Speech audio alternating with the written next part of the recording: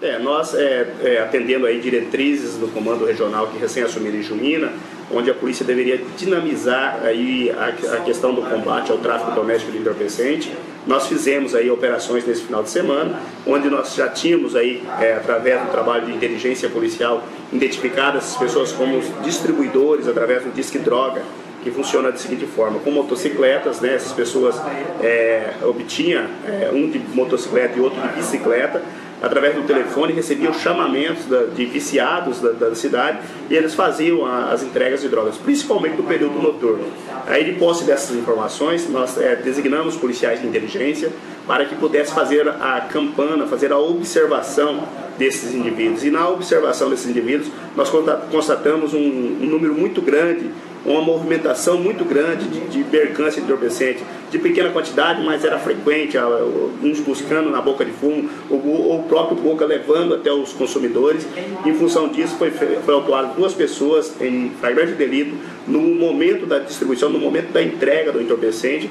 Essas pessoas foram encaminhadas à Delegacia de Polícia Civil, onde o nosso delegado municipal atuou as flagrantes e estão aí à disposição da Justiça. Um dos casos aí, uma das pessoas presas, né, autuada em flagrante, é, já tem a família que já está presa pelo mesmo crime.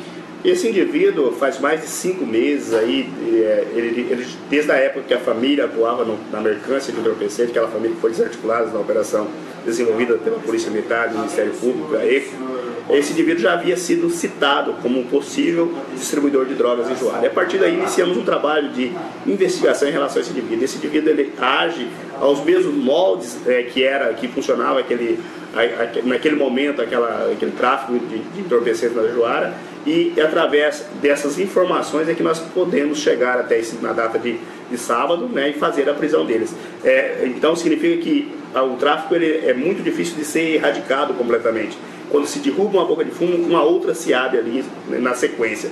E esse indivíduo estava dando sequência ao trabalho desenvolvido por, por seus outros familiares que estão aí, é, que já foram presos, que já foram condenados e estão aí é, pagando a sua dívida com a sociedade. E a Polícia Militar tem mapeado de onde vem a droga que chega até Juara? É, nós temos essas informações. É, infelizmente, é, é a droga que chega em Juara, na sua grande maioria, quando não advém da, da capital do estado, ou seja, através da maconha, né, ah, nós recebemos aqui vindo de Juína. Inclusive temos identificado até nome dos, dos autores das pessoas que fazem, a, que trazem essa droga até Juara.